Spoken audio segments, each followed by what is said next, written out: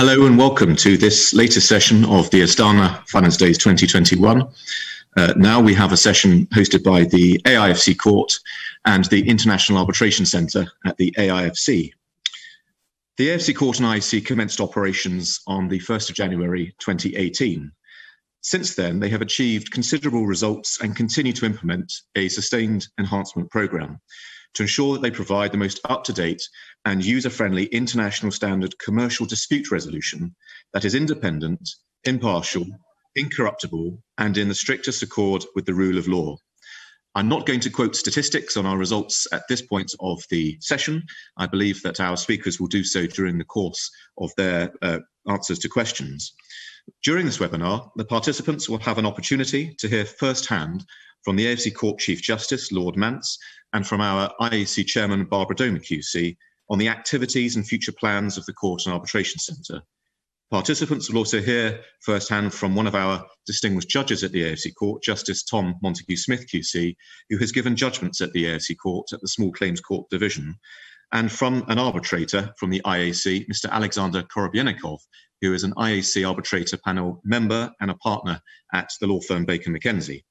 Uh, he has also given uh, awards via arbitration at the IAC. This webinar, I think, will provide unique insight into how the Court and Arbitration Centre work in practice at the everyday practical level. Without further ado, if I may turn first to Lord Mance uh, with some questions, our Chief Justice at the AIFC Court. Lord Mance, uh, what is the purpose of the AIFC Court and how is it achieving its purpose? What is the purpose of any court? Um, the purpose of a court is to provide society with a secure background, both to live and, in the case of commerce, to function. And um, in commerce, I think that is particularly important that there should be confidence among businessmen, among investors, that the transactions they enter into will be given effect according to the intended understanding. And for that, you need an independent, an objective court with experienced judges who, um, in the course of their professional lives, in one way or another, have picked up an understanding of commercial realities as well as a firm grasp, of course, of the law. They must be not only independent, they must, of course, be personally impartial, incorruptible, and um, understand the principle of the rule of law uh, at least as we understand it in the West. And in, um, I think, a large part of the common law world, and I believe also in Kazakhstan. The justice which such a court aims to provide should be efficient, it should be quick, it should be reliable, and it should be accessible. Um, it should be cost effective, in other words. And um, it should provide that not only in relation to the cases which come to the court, but um, this court, the Astana court, operates as a protective uh, and to a degree supervisory authority which ensures the reliability and operation, though only as a backstop, of the International Arbitration Centre, which is chaired so ably by Barbara Dohmann QC, from whom you're going to hear. And I say um, it operates only as a backstop because court involvement in arbitration uh, is by definition limited, and so it should be. Parties who go to arbitration have agreed primarily that that is to be their method of dispute resolution. But um, arbitration, of course, needs to be enforced by courts, and just occasionally, courts need to intervene to ensure um, justice when something has gone wrong. There may have been uh, an excess of jurisdiction or possibly even some failure of due process, but um, that is hopefully, of course, a rare matter. Our aim is to provide this sort of justice for business, of course, in the first instance in the Astana Financial Centre itself, but also uh, for anyone in Kazakhstan or in the region uh, or anywhere in the world who chooses to submit to the Astana International Financial Center Court. And we hope that this last possibility will become increasingly apparent and increasingly used. Uh, we aim, in the first instance, therefore, to be the number one choice for commercial dispute resolution in Central Asia. And um, we aim for recognition on the world scene as a significant common law court, among others, of course. Are we achieving this purpose? I believe we are. Um, 21, 21, um, 2021 is the fourth year of our operations. Um, we had at the outset set out a modest ambition of five case filings by this stage. We've achieved three times that amount, and we have, of course, achieved uh, many more arbitrations. I think um, some 40 arbitration awards and many, many mediations under our aegis um, in the hundreds, nearly 500. Um, and um, we hope that this progression will continue. We're confident it will. Uh, our judgments uh, have been uh, given um, by our judges, of whom there are in total nine, uh, and um, they are judges uh, of the small claims court uh, or judges of the main first instance court, um, some of whom also serve in the Court of Appeal. Uh, and I have the privilege, as you've heard, to be the Chief Justice. We all come from uh, common law um, United Kingdom backgrounds. Um, that is not um, uh, by definition um, required, but I think this is established as a common law court, and it is important that um, we have, um, uh, for the credibility of the court, um, the experienced commercial judges um, with common law backgrounds that we do have. Uh, judgments are constitutionally uh, enforceable and have always been enforced um, through the Kazakh mechanisms. Uh, we work closely in collaboration with the Kazakh Supreme Court. Uh, I have just um, agreed a transfer of cases memorandum with the Supreme Court, uh, which um, will, I believe, bring a, a, number of cases to our court which um, are suitable for it. Um, we um, have been included in many, many business contracts, more than 5,000, including contracts of Chevron, Tengiz, um, Chevroil, and um, we are in discussions with other global corporations uh, uh, about the possibility uh, that they might um, use the court, uh, which is something strongly encouraged by the um, Kazakh government. We um, uh, have operated throughout COVID without uh, problems. We have extremely efficient um, IT and infrastructure, and we moved immediately to on, online operation and there has been no disruption to the court uh, during the recent sad period. Um, we have also given a number, a lot of webinars of this sort. Um, one of the features of this uh, is uh, outreach, and our able chief executive, Chris Campbell-Holt, and registrar has um, particularly focused on that and ensured um, that we participate and make ourselves known. So I believe there's a bright future for the court, and I uh, hope to see it. Thank you very much for listening. Thank you, Lord Mance. Um, I will, if I may, ask you a second question. Um, and we're asked this all the time. I know we've discussed it before, but what is the AFC Court's jurisdiction and who is using it? Well, fundamentally, uh, the jurisdiction, which is prescribed by the constitutional statute um, of 7th of December 2015, uh, is um, exclusive in relation to um, matters arising from the operations of the Astana International Financial Center uh, itself. Um, that is, disputes between um, participants in the center, disputes relating to activities conducted in the center and governing by, governed by the law of the center, uh, and also um, uh, disputes about the interpretation of AIFC acts. That's a, a potentially important um, uh, provision. But I've already mentioned the fourth head, which is disputes transferred to the court by agreement of the parties. And um, that, as I've said, uh, will, I think, be increasingly significant um, as a result of choice of court clauses in commercial contracts and as a result of ad hoc agreements in particular cases. Um, it, you don't have to start a case in the local Kazakh courts. You can agree to come straight to the Astana International Financial Center court. Or if you have started a case in the local courts, uh, then uh, it can, by agreement, be transferred and the memorandum I've mentioned is in, designed to encourage that. So this, this opt-in jurisdiction will, I think, be increasingly significant. Uh, we do not have jurisdiction, uh, obviously, over criminal or, or administrative uh, law matters um, or over pure tax matters. But of course, questions of tax um, can arise in proceedings over which we do have jurisdiction. Um, and then we have to deal with them, just as any court has to deal sometimes with um, uh, matters um, relating to um, um, ancillary uh, matters uh, which are not within its direct jurisdiction, um, or indeed in, in, uh, has to deal with foreign law sometimes. Uh, we, we also. Um, so um, the court is already being used under all these heads um, by investors and business people.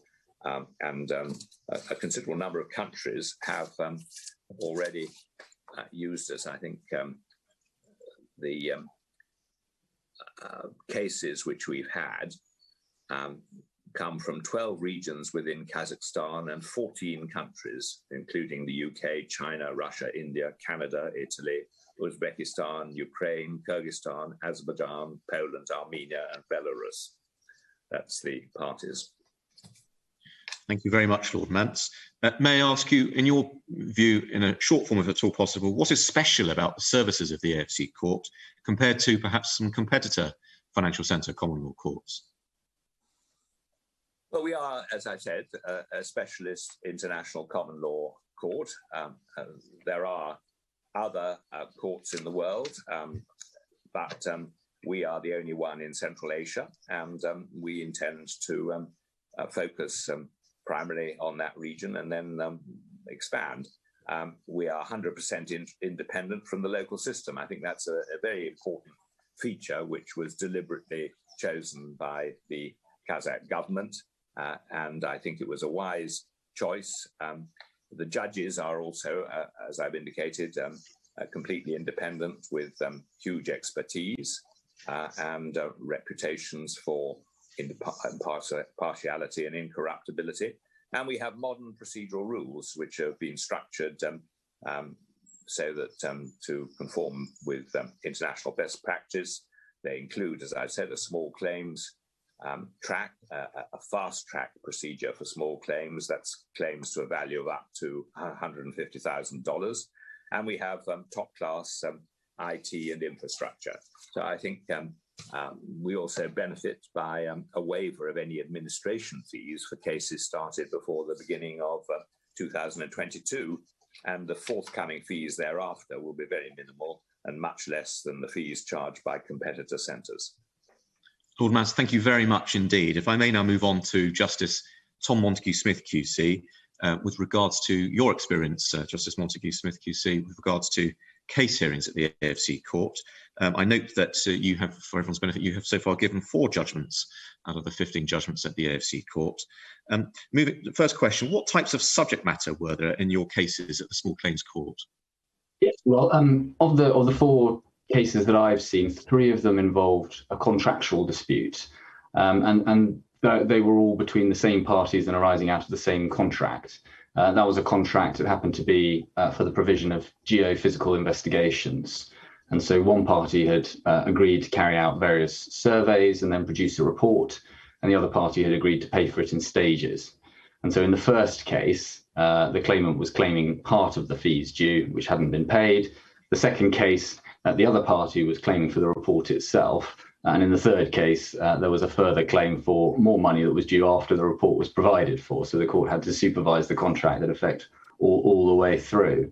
Um, and in that case, in those cases, the parties had agreed to the AIFC court's jurisdiction, and that is why uh, the case came to me. Um, the other case was different. It was an employment dispute. The employee had been dismissed, and the dispute was about whether or not the dismissal was justified. Uh, and the reason why that was in the AIFC court uh, was that the employee was employed by an AIFC company. Um, and so that gave jurisdiction to the court. Uh, all of the claims were valued at less than 150,000 US dollars. And so they, that's why they came to the small claims track. Thank you very much, uh, Justice Tom Montagu-Smith. Um, can I ask you to comment, please, on how did the case management work and, and, and what distinguishes uh, the case management of the AFC court, perhaps from other interna- inter- international financial centre common law courts? Thank you. Yes, well, as I say, that they were all within the small claims track, um, and as a result, they were subject to a special procedure that applies to those sorts of claims. And that particular procedure is designed to be fast uh, and flexible. And I think one of the other features of this course is, is the accessibility um, and speed of response uh, by the registry in, in relation to the case management. Um, the small claims process also includes a separate procedure which by which the parties can request a consultation. And that's a form of mediation which is supervised either by yourself, the registrar, or, or, or you can appoint someone to undertake that uh, mediation. So, so the procedure that I was dealing with is intended to be relatively informal. Um, and the idea is that it's supposed to be more accessible to inexperienced parties and, and the flexibility of it and the accessibility of it allowed the court, allowed me uh, to ask for more information quickly and get responses quickly when I needed it. So we have, as, as the Chief Justice has already said, we have modern court rules which are intended to speed things up. So, for example, we don't need to have a hearing every single time we want to decide an issue of case management. We, we can just get those things done uh, quickly. Um, so just to give you a very brief explanation of what happened in my cases, um, in the first case, in fact, the defendant didn't respond and the claimant wanted a decision very quickly on paper.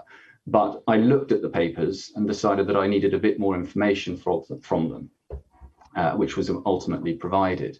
So the, I think the claim was decided in approximately five weeks from start to finish, but two of those weeks were taken up in giving the defendant a chance to respond, which ultimately they did not do about two and a half weeks were taken up with the claimant providing the further information that I needed to make the decision. Um, and I think in, in the end, uh, at the court's end, we took about three days in total to consider the claim uh, and make the decisions that we needed. And from my perspective, um, all, of this was, of course, managed by the registrar, uh, yourself, and, and your team. Uh, from my perspective, it all worked absolutely seamlessly. Um, importantly, from my perspective, we, we got I, I had good warning uh, of when I would be required, and so I was able to make sure that I had time in my diary, um, and, and, then um, y- you were able to communicate extremely efficiently with the parties to obtain the further information uh, and confirmations that we need we needed, um, and, and the, as I say, the whole the whole process uh, took about five weeks, but but of our side about three days. The second case um, was from start to finish uh, took about three weeks. Uh, and in that case, the parties both engaged um, and, and, both confirmed quickly that they were happy for it to be decided without a hearing, um, which is what, what then happened. The, the, fourth case, though, the third case result was resolved by agreement, but the, the, the final case required quite a bit more case management. Um, and, and in particular, one of the parties was not legally represented.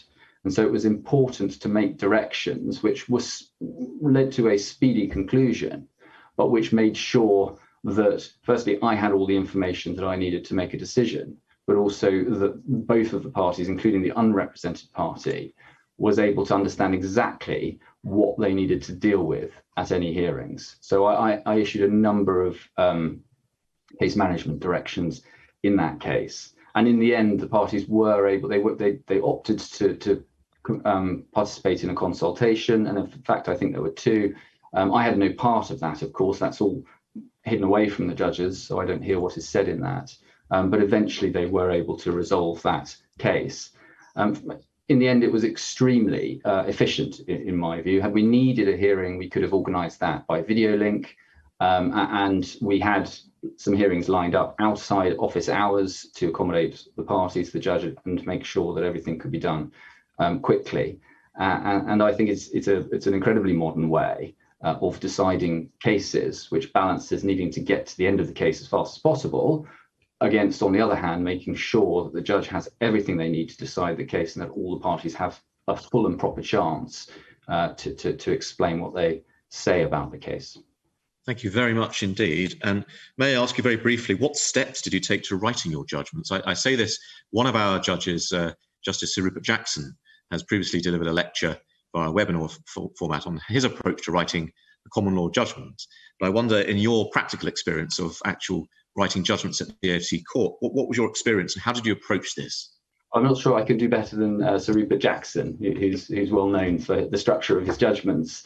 Um, but I think, uh, as I said, um, in the small claims division, which is where I sit, it's fundamentally important for us to make sure that we have all the things that we need to decide the cases, because some of the parties who appear in front of us will not be terribly experienced at the kind of common law litigation that we're dealing with. And so accessibility is very important. It's important at all levels, but it's particularly important at the level that, I, that, that, that we sit at. Um, and so um, it was critical to, first of all, analyze the case and make sure that I had everything I needed and where I did not to make sure I issued directions which were very clear in identifying what were the gaps in the information that had been provided uh, and the way in which um, the, the evidence needed to be produced. After that, um, I went on to uh, analyze the case, identify what each of the issues were, set those out, and then deal with what the parties said uh, about each, each issue uh, and come to a view uh, as to w- what the right answer was. Um, my judgments were in relatively simple cases. And so, as I say, I was in a position to produce my judgments relatively quickly in a case of, in the first case, I think within a couple of days, in the second case, uh, within three days. Um, and at all times, as I say, trying to balance the party's natural desire to get to a quick resolution of the case with making sure that everybody has had a fair chance uh, to, to deal with them. Thank you very much indeed, Justice Tom Montagu-Smith, um, QC. Um, in the interest of time, we will, we will move on, if I may, to the Arbitration Centre. Before I do, may I ask our Chief Justice, Lord Mance, if there's anything he would like to add uh, re with regards to the cases at the court, uh, before we move on to some questions for our, our Arbitration Centre. And if I may ask you to unmute yourself first, uh, Lord Mance.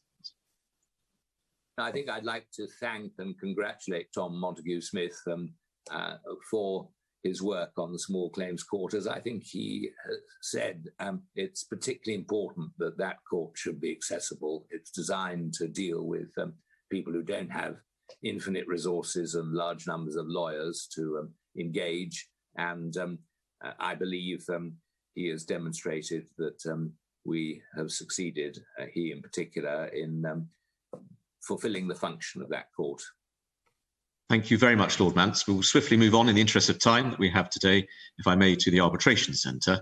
And uh, if I may start, please, with uh, uh, Alexander Korobeinikov, uh, one of our distinguished IAC arbitrator panel members. Welcome, uh, Alexander.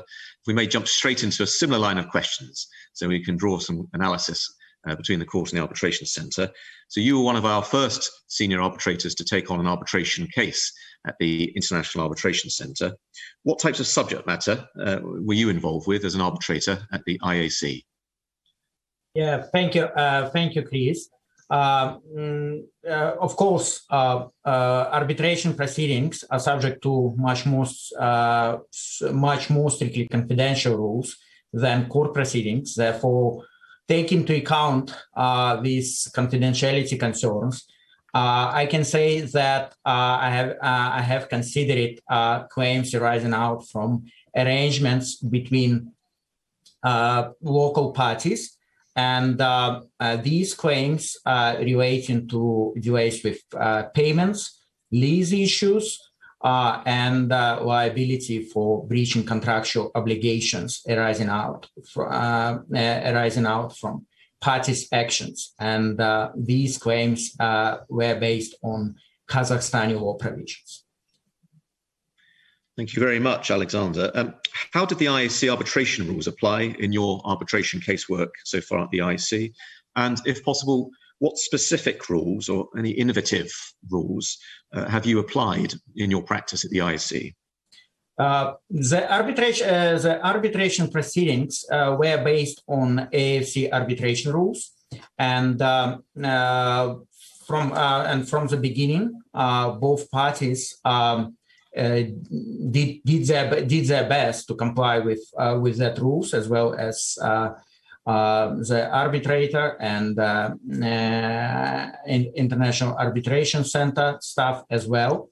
And one of the main features of that rules is that they are providing the opportunity for parties to ask uh, the tribunal to issue uh, the interim relief uh, award or order. And that exactly what happened uh, in, in my proceedings, where one party asked the tribunal to issue such type of uh, interim, uh, interim award, and um, uh, the tribunal considered uh, this, uh, this request, partially, and it was partially granted. and then this request, this interim award, was enforced via uh, uh, AFC court. And um, uh, I would like to, to highlight here that the whole procedure of the enforcement of such uh, interim award was very effective. Um, and uh, uh, if I'm not mistaken, it took approximately two, three days since the date of the issuance of the interim award until we get the order from AFC court. Therefore, that's uh, that was very very uh, time effective procedure, and uh, it comes to uh, remarkable uh, remarkable results of the enforcement of that uh, of that interim award. Thank you, Alexander. How, how, did case management work during the course of your arbitration work with the IAC, and and what distinguishes, in your view, from a practical perspective, the IAC from other international arbitration centres? Um, here, I think that I will join uh, the previous speakers saying that um, the case, uh, one of the biggest challenges in uh, uh case management in my in my proceedings uh, were to instruct parties uh, in to to present their cases in proper way and to provide all relevant evidence. And uh, proceed with uh, the settlement of uh, of the dispute in most effective way. Therefore, similar to uh, honorable judges, I also issued uh, a number of directions or instructions to parties and try to guide them in line with the procedure rules. Uh, however, ultimately, uh, it uh, um, I think that we managed uh, uh, to proceed with that arbitration proceedings quite effectively, and it took, um, if I'm mistaken, around five months since the date of the commencement of the arbitration proceedings until we until I issued the, arbit- the arbitral award on the case, and um, one of um, the biggest uh, advantage of uh, being the arbitrator uh, in uh, AFC arbitration proceedings is the significant support from a uh, International Arbitration Center staff and uh, uh, the register as, as well. And first of all, you Chris, because um, I, it was remarkable support and your staff was available 24 24 7 and any of my requests or questions were addressed um, mm, within within 20, within 24 hours. Therefore, no delays and uh, not, uh, not, nothing um, nothing happened which uh, may uh, delay uh, the uh, the review of of the case. Therefore, that was very smooth, very fast procedure, and that was very comfortable for me um, uh, to uh, to set uh, to be an arbitrator in that um, in that arbitration proceedings. Thank you, Alexander. Um, similar to uh, the question we asked of the AFC court uh, previously, uh, what steps did you take to writing your arbitration award? And and I may add, if I may, that uh, Chairman Barbara Dohmann QC has previously given a webinar on drafting uh, arbitration awards. And so I ask you for your practical um, personal experience of this process, please. Yeah, again, I would say that uh, probably I could not do that better than Uh, than Barbara, but uh, uh, from the practical perspective, similar to what judges do, uh, arbitrators uh, need, first of all, need to summarize uh, the, his- the, the history of the case and parties' arguments. And after that, the tribunal, the, tribunal, the tribunal should provide its own reasoning and assessment of parties' parties' position, and like the main criteria of the quality of the arbitral award that the arbitral word is absolutely clear and understandable for parties. That's um, uh, that's what parties uh, expect from uh, from the tribunal, and uh, um, I also expect that from uh, from arbitral tribunals when I act as a parties counsel.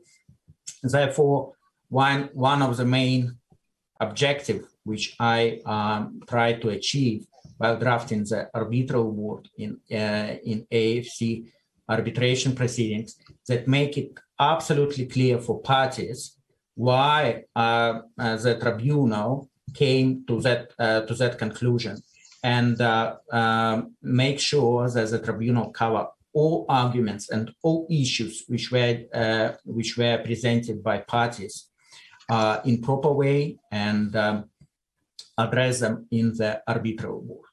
That's like the summary of uh, measures that uh, I uh, I took for uh, issuance the award, which, as I as I understand, uh, was in, uh, was enforced by parties voluntary. Therefore, that one was not compulsory enforcement proceedings, and that's another criteria, I think, of good quality of the arbitral award. If parties do not challenge the award, uh, do not um, uh, do agree with uh, with that with that award and comply with the award voluntarily, it means that they understand why the tribunal comes uh, comes to that uh, to that findings. Thank you very much, Alexander. Uh, moving on, if I may, um, it, it, I've already mentioned that you happen to be not only a, a member of our distinguished IAC arbitrator panel, but you are also a partner at the law firm, international law firm Baker McKenzie. And I'd like to ask you one question, if I may, which relates perhaps to your, your work in that regard. And that is um, as a lawyer, senior lawyer, uh, advising clients on, on a daily basis, uh, how are your clients reacting to the op- uh, possibility of using the International Arbitration Centre? Uh, and to what extent are you now seeing, at a practical everyday level, the inclusion or the potential inclusion of the IAC in your clients' contracts? Uh, yeah, indeed. Uh, I'm uh, in my practice. I'm mostly dealing with uh, arbitration, uh, international arbitration, and litigation. And uh, yeah, one of the most popular questions which I usually receive from my, from my clients: please advise on what institution you would recommend for the settlement of of the dispute uh, uh, between uh, between clients and their counterparties in different in different jurisdictions. and one of the first first options which we propose for the client that's uh, AFC International Arbitra- uh, Arbitration Center or AFC Court, uh, because the unique the unique feature of uh, that of that institutions is that it's a good combination I would say, of international practice, international uh, international approach, and uh, local rules and uh, uh client and client oriented approach, which is highly which is widely used by AFC staff uh, and uh, uh, and re- and register staff of the court and international international arbitration center. Indeed, one of main main criteria of efficiency or or quality of any arbitra- of any arbitration institutions are first of all time, then um, costs, and then uh, effectiveness. I mean, whether, whether the relevant awards may be, uh, may be enforced, ultimately enforced. And if we, if we consider uh, AFC, AFC Arbitration Center based on these main three criteria, they definitely meet them.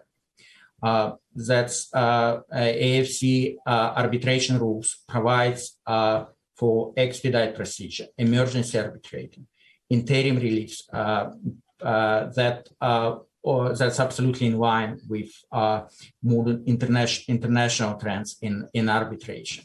Concern, concerning cost, again, as as of today, there is no there is no registration fee, and as I said, uh, a lot of services uh, as a staff of uh, International Arbitration Center are providing for parties for free. and AFC Arbitration Center can also provide parties with uh, with opportunity to settle uh, their cases online, which also results in uh, cost cost efficiency. And ultimately, we are talking about enforcement uh, I already mentioned uh, how fast uh, an interim award in one of my cases was was enforced by AFC court, and that's um, and ultimately that's that's enforcement will be will be conducted in line with rules uh, uh, which applies to Kazakhstani uh, court judgments. therefore, again, then uh, uh, from, from that criteria, a, AFC Arbitration Center mm-hmm. is very attractive for, uh, for clients and for investors, especially if we are talking about disputes with uh, Kazakhstani state authorities or state-owned companies uh, uh, who are historically are quite reluctant to to agree to settle their disputes abroad. And uh, as uh, AFC Arbitration Center is located in uh, in Nur Sultan, uh, these these counterparties are more flexible, are more are more likely to agree to set to settle the, disputes here, and. I, I, again uh, take into account confidentiality issues, but I could say that some of investors even consider uh, AFC Arbitration Center as a proper venue for the settlement of their investment disputes with uh, uh, with uh, with the states, and that's not only Kazakhstan. Uh, I think that's also one of uh, signs that AFC Arbitration Center already has quite good reputation among among investors. Thank you very much indeed, Alexander, and uh, especially for your uh, your insight, your invaluable insight into the workings at a practical level of the IAC. I may now turn, if I, if I will, to our chairman of the IAC, Barbara Dohmann QC. Uh, chairman Dohmann, um, what is the purpose of the IAC and how so far is it achieving its purpose? Well, its purpose is obviously to do exactly what Alexander has described in relation to what people are looking for. Exactly as Lord Mance said, it gives investor confidence to have an international arbitration center where you know that the center is competent, independent, and offers excellent services and a superb list of arbitrators, very good rules, but perhaps very important from the point of view of users. Arbitration, as we know, is according to 90% of those uh, recently surveyed in this year's annual survey worldwide, the preferred form of dispute resolution, particularly in combination with the possibility of mediation, it becomes far and away uh, the most preferred method. And litigants who go to arbitration or to mediation know that they are very much in control of what happens. They have chosen the means of resolution. They can nominate arbitrators for appointment. They can choose the rules, our rules or UNCITRAL rules or other rules. And they have a great input on the speed of the procedure and how it works. And they can be sure in our center that there will be immediate enforcement of an award that has been obtained, be it an interim award, for example, a freezing order or a final award. So you know that litigation will not be in vain, it will actually be followed by enforcement. So, as Lord Mance has already given statistics, I won't repeat them, but clearly the message had got through. You must never undersell your efforts. You uh, obviously have to do still more uh, to spread the message. But we have had well over 500 cases, and um, we have had very many, over 2,000 contracts, which now have our arbitration clause, and several of those contracts already being looked at uh, in relation to arbitration or mediation at our IAC. As Lord Mance also mentioned, uh, we too have signed a transfer agreement with uh, His Excellency the Chief Justice of the Supreme Court of Kazakhstan. Clearly, this being arbitration, people can only uh, come to us if they agree to arbitrate. But it gives a very great choice now if you are already in the Kazakh court system, particularly if you have a commercial and transborder case, that uh, you can change course and come to us and have all the advantages that I have outlined, that Alexander has described, and that I can outline further. Again, it is very much worth mentioning that we had no disruption as a result of uh, COVID. We have switched instantaneously uh, to online for hearings and for uh, all communications between the center and the parties and the parties uh, among each other. And it has worked beautifully.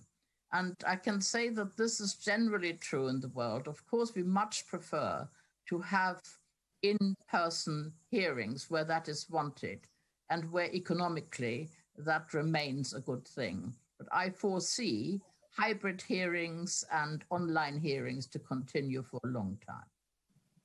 Thank you very much, Chairman Dohmann. May I ask you for your personal perspective as uh, the IC chairman on what specifically is special about our arbitration centre compared to other competitors? Well, our jurisdiction is, of course, uh, completely unlimited from the point of view of commercial disputes. It doesn't matter where in the world they arise, you can come to us. We are a fortunately attached to the AIFC Financial Center, and that gives us a special place in Central Asia. But you do not have to be within that center to come to us to arbitrate. Everybody can come. Uh, if they agree to arbitrate with us, they can do so. And our rules are most particularly flexible. Alexander has described them uh, the fact that we have summary determination, expedited procedures, emergency arbitrators, interim measures is a very important point and attracts people uh, to us and will do so more in the future, particularly once it has been understood that we have a choice of arbitrators, which means that you can choose people who know the legal system that applies to the law in which the dispute has arisen.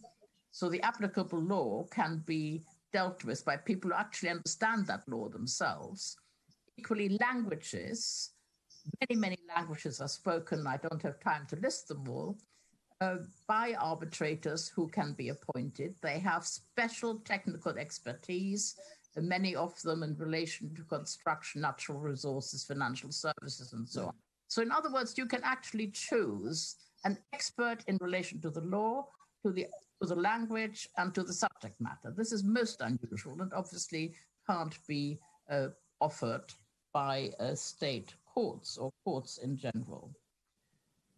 I have uh, mentioned the fact that you can choose different rules I hope that people, on the whole, choose our rules because they're particularly advanced. but it absolutely doesn't stop anybody uh, amending rules procedurally by agreement uh, with the other side and the arbitral tribunal. And of course, I've already mentioned UNCITRAL rules, which are frequently preferred uh, by litigants because they're simply very familiar with them.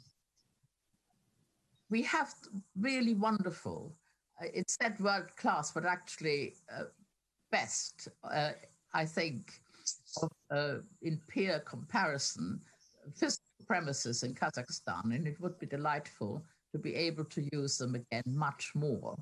And the technical equipment is outstanding, as of course are our staff, who must be particularly thanked for having made the enterprise a, such a great success. Thank you very much, Chairman Dohmann. I move on to one further question, if I may, for you, Chairman Dohmann, and that is um, I remember from the very outset of creating the court and the arbitration centre some years ago now, and there seemed to be a natural assumption from some people that if you create a common law court and an international arbitration centre, that they should compete, not cooperate, but compete. And we were very much together as a team of the view that cooperation would be very important to, to better satisfy the needs uh, the important needs of investors coming to us for dispute resolution. May I ask you to comment, please, from your personal view on, as our chairman at the IC, on the interrelationship that we've achieved over the years between the AIFC Court and Arbitration Centre, and to comment perhaps a little bit on the importance for investors of cooperation. Well, it's a wonderful relationship because it's built on mutual trust and the background of mutual trust, and coming from the same legal system and the same value system. The court, as Lord Mance has explained, is really there to support arbitration. It wouldn't interfere, and it couldn't because the applicable law wouldn't permit it generally. It would only interfere in circumstances where, as Lord Mance has rightly said, there has been uh, the most unusual thing, we hope continuing so, of an excess of jurisdiction or something has really gone wrong with uh, fair process. Not something we expect, but it's important that litigants know that if something does go wrong, which is not to be expected, then there is this highly respected, impartial common law court, highly experienced in relation to how you deal with arbitration matters, that will then consider the matter. The court, of course, is crucial from the point of view of enforcing the awards of uh, the arbitration centers of its tribunals and that has already been mentioned, all our awards have been immediately enforced to the complete satisfaction of the parties. Thank you very much indeed, Chairman Dohmann. Um, I can see that we are getting quite short on time before we need to close this session for the uh, event. So uh, I will, if I may, outline myself on behalf of the Court and Arbitration Centre very briefly uh, where we're going with the Court and Arbitration Centre. And then, I, if I may, I'll come back very briefly to Lord Mance Chairman Dohmann for any closing remarks they might wish to, to make. Um, for everyone's benefit on, on, this session, I can assure the community, uh, both in, Kazakh in Kazakhstan, regionally and internationally, that we have uh, long-term enhancement plans for both the court and the arbitration centre. We're working very hard as a team uh, to implement those on a daily basis. We are looking towards the possibility of further expansion of services to make the user experience as, as more uh, accessible and friendly and helpful to parties as possible. Uh, we're looking to towards potential expansion throughout the region of our services to a wider market uh, than we are currently working with. And we are looking, of course, to, to work towards further case numbers and building more stability and continuity into the everyday long-term workings of our court and arbitration centre. We have an excellent users committee at the Court and Arbitration Centre that meets uh, regularly throughout the year, and we engage with the community in Kazakhstan regionally and internationally as often as we can. That said, we are open 24 7 for feedback from anyone who wishes to make it by simply sending an email or picking up the telephone or meeting us when it's, when it's health, health wise is permitted, uh, given the pandemic. Uh, and we will immediately, or very quickly at least, respond uh, with appropriate action uh, that our Chief Justice, the judges, and our IC chairman and arbitrators believe is appropriate for our further growth. So thank you very much. May I offer um, uh, Lord Mance, uh, any final remarks you might wish to make before we close the session? No, uh, th- thank you um, uh, to all the participants for taking an interest in this subject. I think it's uh, extremely important um, for Kazakhstan and for the wider region um, the development of um, a court and an arbitration centre uh, about which you've been um, listening.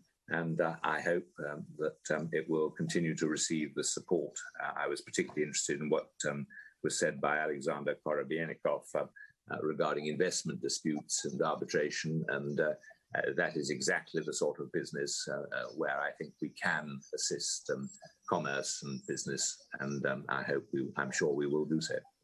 Thank you very much, Lord Mance. Uh, Chairman Dohmann, uh, would you like to make any final remarks? Yes, thank you. I really do, because I think it is it behoves one to thank those who have made what has been achieved so far possible and who will enable the great growth that we expect will happen. And that includes, of course, uh, the uh, Republic of Kazakhstan, in particular the governor of the AIFC, who has been of very great support to us at all times, making it clear how independent we are. And I want to thank all the arbitrators and mediators who have worked for our center, and some of whom have given their time for free at the beginning of our work. That's very important. And indeed, the center itself will not charge any fees until January next year.